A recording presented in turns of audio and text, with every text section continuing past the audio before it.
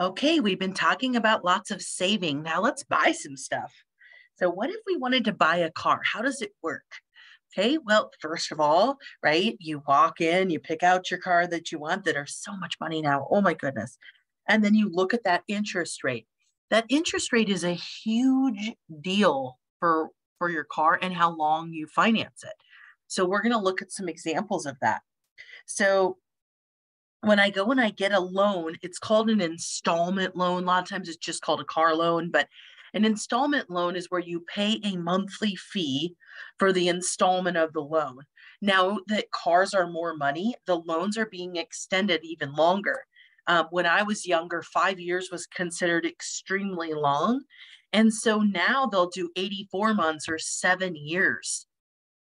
So you're paying on a car and think about the shape that car will be in in seven years you know like uh, i don't know it's just it just makes me go so um, just the price of them when we look at this formula this is our formula for any payment. So we're going to do this for houses as well. So this is any kind of payment. And this is a compounded interest payment.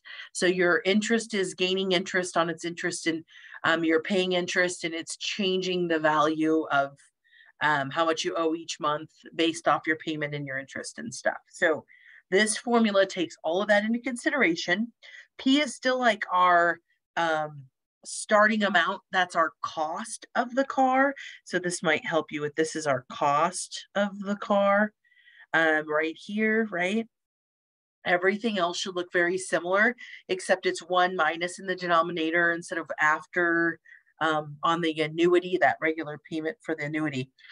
So let's go down here and use this formula. Example one, suppose you decide to borrow 20,000 for a new car. It's not new, uh, new to you, used. Have you guys looked at prices? I bought a new car last weekend. Very expensive. You can select one of the following loans.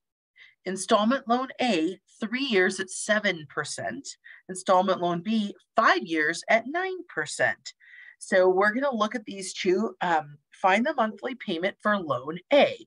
So our, our monthly payment for loan A is going to be our P, our starting amount, 20,000 times the rate. We said this one is 7%, and we're doing monthly payments, which is pretty typical.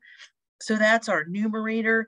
Our denominator is going to go 1 minus 1 plus the rate again, divided by that 12. Sorry to write that a little bit to the side. Minus, so a negative in the exponent, um, 12 times time. How many years? Three-year loan. Okay, so here's our loan payment amount. Now, this is an exponent here, so be careful. Now, when you go to put something in the exponent, you need to use this negative right here, okay, not in the in the exponent place.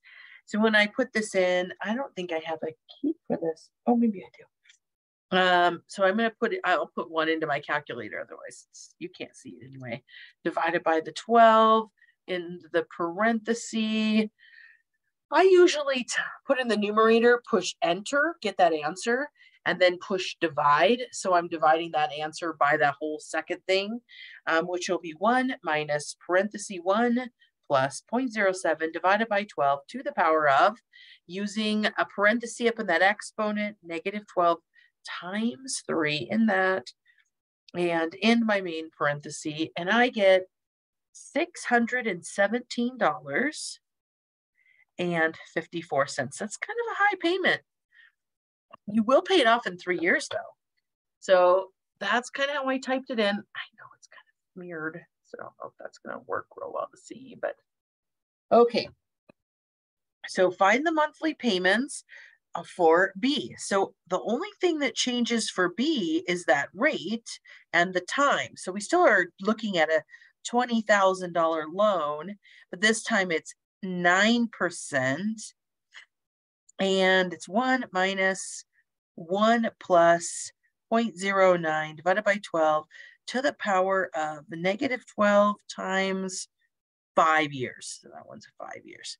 Okay, I'm gonna put this in and I get $415.17. So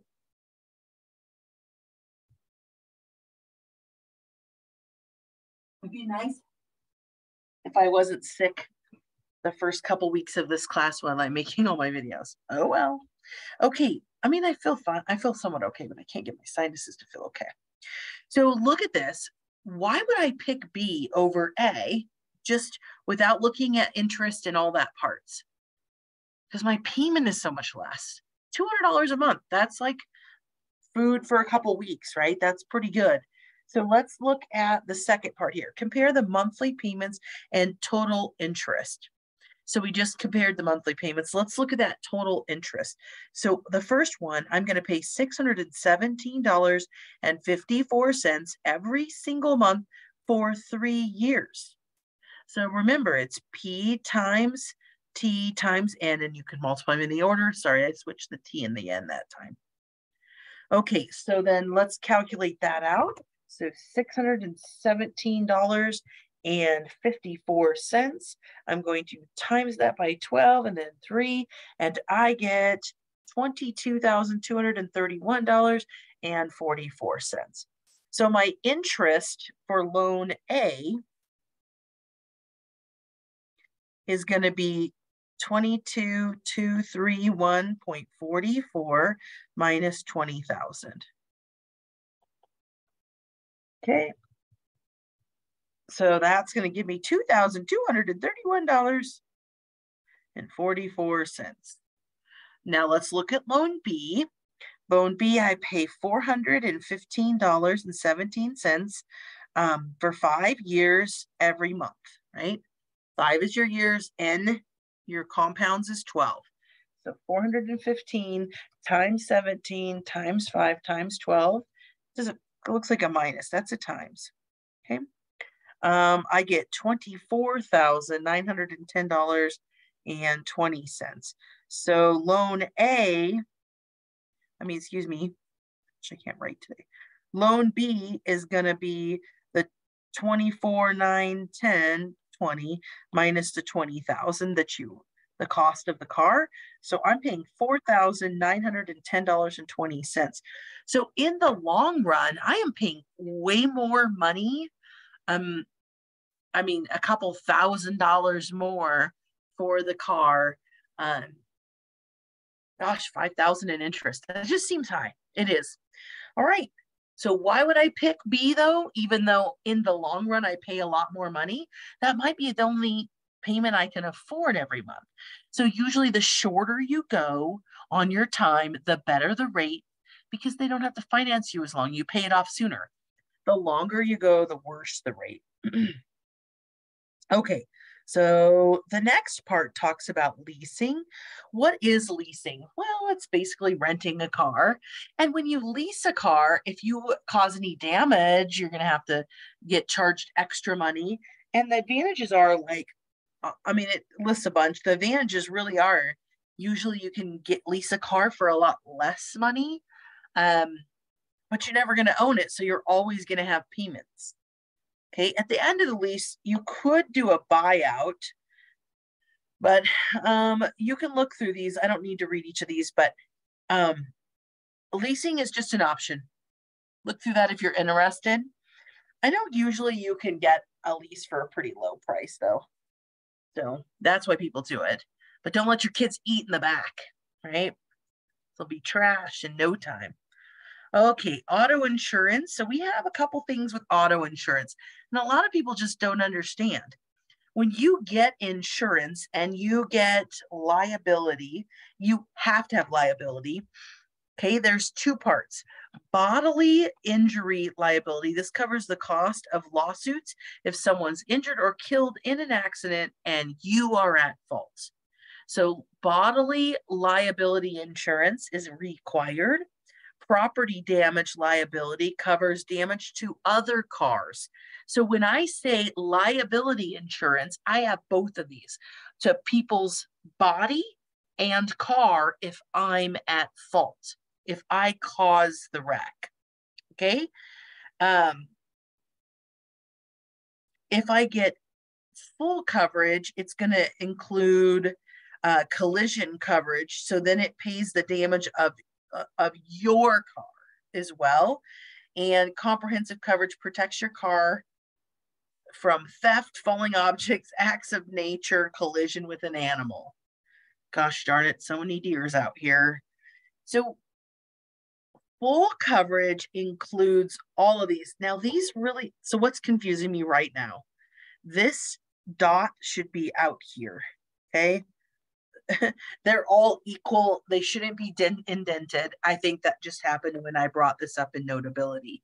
These are all equal. So when you get liability, you have to have that. When you get full coverage, it adds the other two on there for you. Okay. All right. So suppose that you're thinking about buying a car and you've narrowed it down to two choices. A new car costs 25000 It's financed for four years at 7.9%. A used car options a three-year-old model, same car, costs 14000 It will be financed for four years at 8.45%. What's the difference in monthly payments between the financing your two cars? So this is just another um, one more problem with our payment formula, right? So option number one. So this is our new car. Okay, and our new car um, bum, bum, bum, is 25,000, right? 25,000. It's the cost of the car times our rate. What was our rate? 7.9, so 0.079 monthly, right? All divided by um, 1 minus the parenthesis 1 plus the 0.079 divided by 12 to the power of a negative 12 times 4 years. Okay, take the time, calculate that out. I get 609. Oops, I wrote the wrong number. 609 and 15 cents. Make sure you can do that on your calculator. Okay, then we have our used car, right? Our used car was a lot less money. It was $14,000. And this one's at 8, so 0.0845 divided by 12, all divided by 1 minus 1 plus 0.0845 divided by 12 to the power of negative 12. This was, what was our years on this one? Four-year loan. Oh, they're both four-year loans. Four-year, yeah, cool. That makes it easier to compare. So this one will be $344.75. Wow, that's such a difference. Are you going to buy new or used? Oosh. And we could calculate out the interest on this one. You pay a lot less interest, obviously, if you buy the used car that's less money, because um, you're paying interest on more amounts on the top one. So these are both four years, so very comparable. Now, the rates really are higher for used cars. Um, I just bought a new Honda and they had a deal if you only finance four years, you could get 1.9% interest, which is extremely low right now. And, and this video might be watched at a different time. And right now it's 2022. So, um, you know, in 2023, if you're watching this video, the rates might have gone back down, but right now they're kind of high. So you're probably getting 8 to 10% on a car loan, which puts you in a very high interest category. All right, so the other money pit of car ownership, right, is gas. Um, gas tends to cost quite a bit. Um, this totally looks weird. Let's rewrite that. But this is basically your annual um, miles driven divided by miles per gallon and you could times it by the price per gallon. Mm, I can't fit it over there. Price per gallon. So whatever the price of gas is right now. So that's just your co annual cost of gas. So we can look at this. Um, this little chart from your book's a little old. Um, it talks about a small sedan being like cost about 44 cents 45 cents per gallon. And so the cost per year you can figure out is a lot more for an SUV. This doesn't consider like hybrid or a lot of our electric cars coming in. Okay. We should know these things. We should know about maintenance, how much tires are going to cost, um, oil changes, um, tolls, parking fees, cleaning fees, all those things kind of add up. Insurance, license fee, registration, taxes. Um, so you have to pay taxes on your car price too. So a couple more questions. Suppose that you drive 24,000 miles per year and gas averages $4 per gallon. What will you save in annual fuel expenses by owning a hybrid car that averages 50 miles per gallon rather than this SUV that offers 12 miles per gallon. So what's the cost difference on these? So let's look at our hybrid or SUV. I don't really care which one. SUV, oops, SUV was talked about first. It doesn't matter. So our SUV is 24,000 miles is what they say we drive. And we get 12 miles per gallon. And the average cost is about $4 right now per gallon. So this is trying to be as realistic as I can.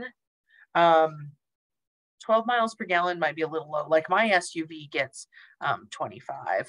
So let's see. So that's $2,000 a year in gas. Okay, your hybrid, how much is it going to be per year in gas is 2,400 um, divided by 50 because I get 50 miles per gallon, still saying, you know, the four. Um, this will end up being, did I divide it by 12? Oh, shoot. I was like, what did I do wrong? I forgot to times by four over here. It's 2000 times four. It's 8,000. I was like, that doesn't look right. 2000 a year. That's what happens when I don't really look close. Okay, so for this other one, you, you get 480 when you divide by 50, but then you have to times it by four. So this one's 1,920. So I was like, they're both around 2,000. That's not correct. I'll write this better. It's $8,000. You probably already saw that mistake, but either way, Okay, so one is going to cost us 8000 a year to, to use. Just, you know, that we aren't even talking maintenance, we're just talking about using it. Okay, if you deposit your monthly fuel savings at the end of each month into an annuity that pays 7.3% compounded monthly, what would be your um, cost? Let me get my annuity formula. Okay, so how much money am I saving by you know so i got to figure out per month so i'm going to take 1920 and divide by 12 because this is per year up there and that's going to give me $160 and then i'm going to take 8000 and divide it by 12 to get how much per month and i get $666.67 see that's a little high i don't quite pay that much i guess our truck was that much though we got about 10 to 12 miles per gallon on our truck. So if you drive a big truck. Okay, then I'm going to subtract these two. 0.67 minus 160 and I get $506.67. So I'm going to take this difference every single month and I'm going to put it into an annuity.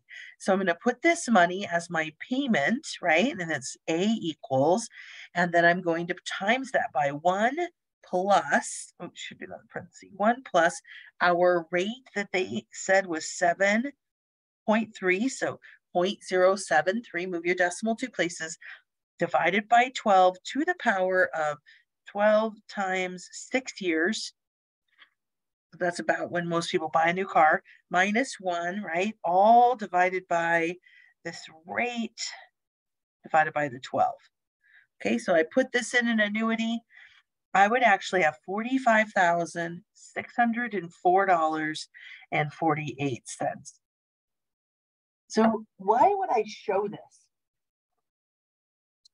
I just showed you the difference between buying I mean, not buying, saving money on gas by buying a car that gets better gas mileage. And really, you don't even have to get a hybrid like a Corolla, a Civic. Um, they used to have Geo Metros. Now I get uh, some of the Hondas. They get 40 to 50 miles per gallon. So there are other cars that are get that real high miles per gallon. Look at if I just save that money every single month for years, I, I'm going to have a lot of extra money in the long run. So hopefully that encourages you buy a cheaper car and or you know that gets better gas mileage. All right, that's all I got for buying a car.